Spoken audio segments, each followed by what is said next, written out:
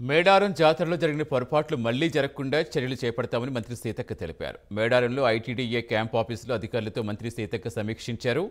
సమ్మక్క సారలమ్మ ప్రాంగణంలో స్మృతివనం జంపన్నవాగు పరిసర ప్రాంతాల్లో పార్కింగ్ స్థలం ఏర్పాటు చేస్తామని చెప్పారు.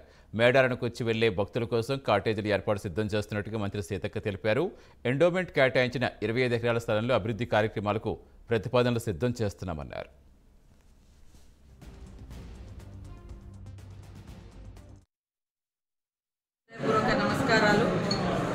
చాలా రోజుల తర్వాత మేడారం అయిన తర్వాత మరి మేడారం ప్రాంగణంలో సమ్మక్క సార్లమ్మ సన్నిధిలో మా నూతన కలెక్టర్ దివాకరన్ గారు అదేవిధంగా డిఎఫ్ఓ గారు డిఎఫ్ఓ గారు అడిషనల్ కలెక్టర్స్ మరి మిగతా అధికారులందరితోటి వివిధ శాఖల అధిప అధికారులతో ఈరోజు రివ్యూ చేసుకోవడం జరిగింది.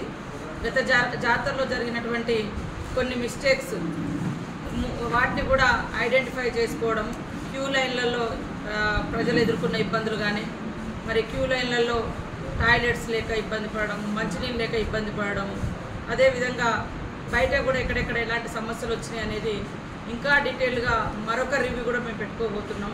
ఈరోజు రివ్యూ యొక్క ప్రత్యేక ఉద్దేశం సమ్మక్క సార్లమ్మ ప్రాంగణాల్లో మరి స్మృతివనం కావచ్చు అదేవిధంగా క్యూ లైన్ డెవలప్మెంట్ కావచ్చు జంపన్న వాగు చుట్టూ ఒక పార్కింగ్ లాగా ఏర్పాటు చేయాలని అదేవిధంగా వచ్చిపోయేటువంటి భక్తులకు కూడా కాటేజెస్ నిర్మాణం కానీ పార్క్స్ కానీ ఇవన్నీ రాబోయే కాలంలో నిర్మాణం చేయాలని